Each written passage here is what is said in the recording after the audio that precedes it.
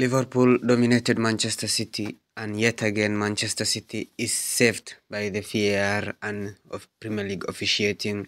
Who, I, in my opinion, who really wants Arsenal to win this thing. You know, this is this. I don't know. This is the second or third thing. This is the third. this third incident that happened this weekend that shows, like, VAR doesn't care. Officially, of Premier League officiating is so, you know, fucked up and so bullshit.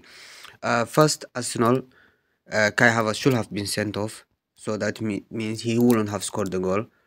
So that's the first one. Secondly, if Liverpool goal in the Carabao Cup was overturned because of blocking, uh, why wasn't Man City's goal not overturned? So that's the second thing. Third thing, Jeremy Doku has clearly missed the ball and hit uh, Mac Allister. It's clearly missed the ball and hit Mac Allister. But what what are they? What were the VAR answer? It was what is it called? Uh, reasonable. So okay it, if it's reasonable then what why are other teams not getting that reasonable thing? You know VAR and Premier League officiating is just fucked up situation. They don't know how to officiate, uh, officiate. Uh, so they should just you know even a blind mother can officiate better than what they're doing because I don't know is it favoritism are they fearing? I don't know but I really don't see any good thing or any good decision they're making these days. All their decisions, when they make a good decision, we appreciate. But you cannot appreciate when they're making three massive decisions that can swing the Premier League from one way to the other in two games, like even two big ones in one game, you know. Where is the consistency? Where is the consistency? You know, if you are given this, then manage with you know with the consistency that you have made the rules. There's no way you make mid-season rules then but you still don't comply with it. I really don't understand. On the other hand the game was great. Manchester city really dominated liverpool on first in the first half. They were a better team in the first half. Could we have scored in the first half? Yes. Diaz and that one from uh what's he called uh Szoboszlai. Szoboszlai was not having a good game today good game today all the others were really really good. Um, Diaz should have scored like at least three goals, but I don't know what was wrong with him today. He missed so many chances. Kelleher saved us, you know, from that Foden save, you know, Ortega that uh, Darwin Núñez save, you know. The game was good. Liverpool could have scored more than four goals, you know.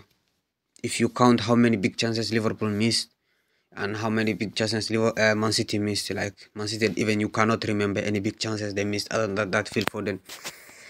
Which and that Doku, mm, uh, what's called Doku hitting the post in the nine minutes of the game. On the other hand, you know, uh, Gakpo should have shot that ball. That's why I I don't know, but Gakpo uh, he needs to be dropped back, you know, to maybe come or you know central midfielder. Maybe he needs to be retrained to another position because he's not good at striking you know. Uh, on the wings also he's not good. So I really don't know.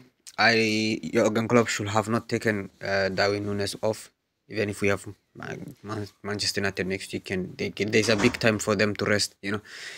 Uh, on the other positive hand is that Mac Allister and uh, Endo have dominated Man City. You can say whatever you want, but they got dominated. Manchester City used to have the best league, you know, uh, midfield, but what I saw today was totally different. I saw Liverpool players dominating the game. I saw Liverpool players, you know, fighting for the ball.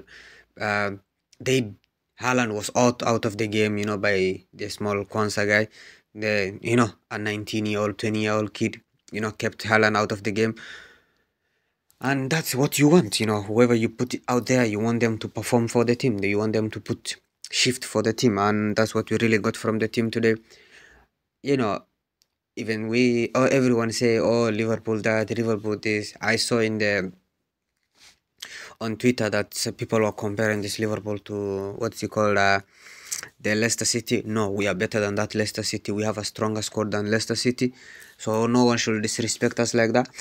But the thing is that VAR this season is against Liverpool. I think they want Man City to win or you know Arsenal to win. Every favor is going for Arsenal starting from when we played them they got a penalty we should have got a penalty. You know, on the other side they got a soft red cards. You know, for Konate's red card shouldn't have been a red card. You know, uh, you know things that when you look at the th things that gone against us, you know, you cannot you can complain till tomorrow, but on the other side, like there's nothing that you can do about it. You know, it has been a really really sad season to see. You know how VAR is doing to us, and we can talk till tomorrow, but you know if there's no action against you know taken against these teams or this you know there's nothing that will happen you know uh uh, I really like on the other positive side is that this Liverpool team can win the league.